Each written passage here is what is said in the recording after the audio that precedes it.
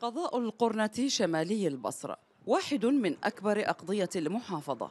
يعاني من نقص كبير في الخدمات ولم تنفذ المشاريع المقرة فيه رغم رصد الأموال اللازمة لها. مواطنو القرنة انتقدوا آلية عمل الشركات المنفذة سيما لمشروع الصرف الصحي. مستوى العمل صفر. ماكو أي إنجاز بالعمل ماكو. أي إنجاز ماكو. دفن بأنقاض وبنفايات. وأنتم تقدرون ترحون حتى البايب اللي دافنه تحفرونه وتشوفون شنو شنو شنو اللي جوا هذا صفر بصفر من 2019 ولحد الآن. ماكو أي إنجاز بهالعمل هذا. يعني ملينا ما شو اسمه مشروع مبلغ 600 مليار. يعني يبني يبني يبني محافظة. مو والله يشتغل مجاري مال المشروع مال القضاء عجبه؟ شوف الدنيا وين اتطورت الدول وين وصلت؟ وكان رئيس الوزراء قد وجه خلال زيارته الأخيرة للبصرة بتشكيل لجنة بعضوية الجهات ذات العلاقة لمتابعة مشروع الصرف الصحي وتوضيح أسباب تلكؤه.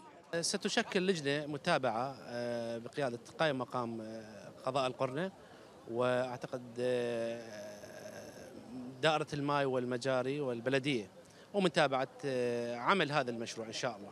من جهتها وعدت رئاسة مجلس المحافظة بسحب العمل من الشركة المنفذة ومحاسبتها في حال استمرار تلكؤ تنفيذ المشروع.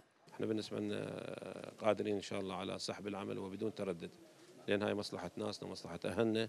وأيضا نتمنى أن هذه الشركة يكون لها بصمة في منطقة القرنة حتى تشجعنا أن نعطيها أعمال أخرى ولكن إذا بقت على هذا المستوى لا نسحب العمل وبدون تردد.